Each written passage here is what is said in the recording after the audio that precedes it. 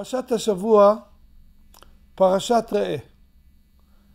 A lot of mitzvot are written in our parasha, including mitzvat tzedakah, to give tzedakah, charity. The Gemara said that there was a governor of Rome in Eretz Israel. He was uh, very bad to the Jewish people.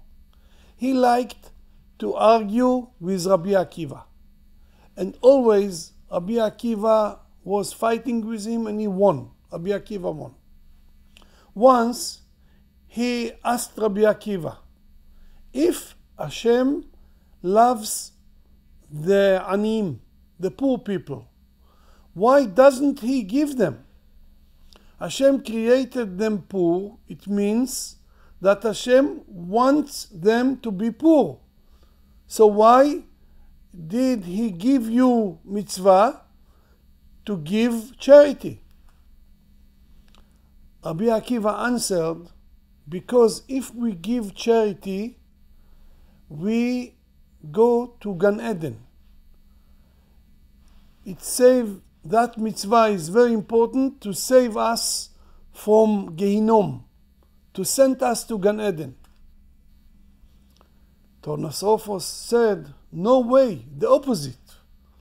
If Hashem punished the poor people to be poor, it means He wants them to be poor. So if you give them charity, you, do, you go against Hashem. It's like a king that wanted to punish his slave, and he said, Don't give him food and someone went and gave him food. It's against the king. Rabbi Akiva answered, No way. We are children of Hashem. The Pasuk said, Banim atem la Hashem Elohechem. All of Am Israel, we are children of Hashem.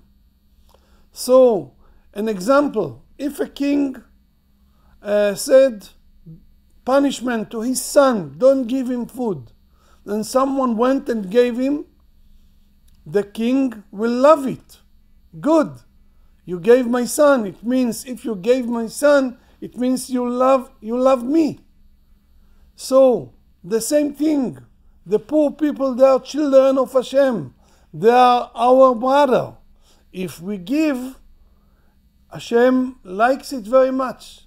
It means that when we give tzedakah, we give charity, it's show that we love Hashem.